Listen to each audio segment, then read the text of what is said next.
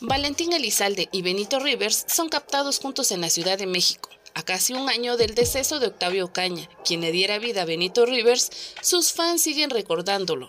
Y es que en esta ocasión ambos nombres se han hecho tendencia ya que un usuario en redes sociales dio a conocer el momento en el que un automovilista de la Ciudad de México imprimió la imagen de ambos artistas en su medallón, lo que ya fue captado por distintos usuarios de las redes sociales.